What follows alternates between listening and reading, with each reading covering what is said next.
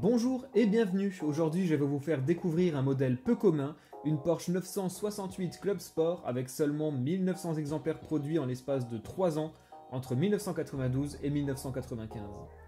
C'est bien une 968, mais on parle d'une base de 944. Elle devait s'appeler la 944 S3 pour faire suite à la voiture qu'elle remplaçait, donc la 944 S2. Sauf que chez Porsche, ils se sont un petit peu pris la tête et après toutes les modifications apportées, ils ont décidé de l'appeler la 968. En fait, s'ils ont fait cette version, c'était dans le but d'augmenter les ventes, tout en proposant une nouvelle finition qui serait donc plus légère, on parle de 50 à 100 kg de moins suivant la configuration, et dotée d'un pack sport comprenant le châssis sport, les gros freins et l'autobloquant. Le design intérieur est le même que celui des dernières 944 S2, hormis quelques détails liés à la version Club Sport, comme par exemple les sièges baquets et les rétroviseurs manuels, les vitres manuelles, la banquette arrière qui a aussi été supprimée par la même occasion. Il n'y a pas non plus d'airbag ni de climatisation, ou alors à moins de l'avoir pris en option, ce qui est notre cas sur les photos. Enfin, on retrouve une suspension rabaissée de 2 cm pour encore améliorer sa tenue de route.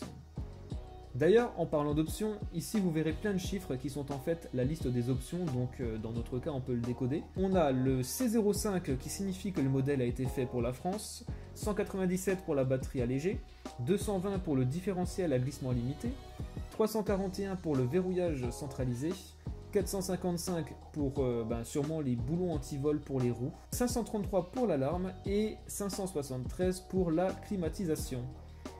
Au niveau des roues, on est sur du 17 pouces pour du 224-45 à l'avant et du 255-40 à l'arrière, donc euh, de dimensions différentes, enfin de largeur différente. En ce qui s'agit du moteur, on est sur un 4 cylindres 3 litres, en quelque sorte un demi V8 issu de la Porsche 928, et à l'époque c'était en fait le plus gros 4 cylindres au monde. Par rapport à la 944 S2, ils ont greffé le Variocam qui fait varier l'admission pour arriver à 240 chevaux à 6200 tours ainsi que 305 Nm de couple à 4100 tours avec un compteur qui permet presque de monter jusqu'à 7000 tours minute donc je crois que c'est 6500 euh, tours minute si je ne me trompe pas.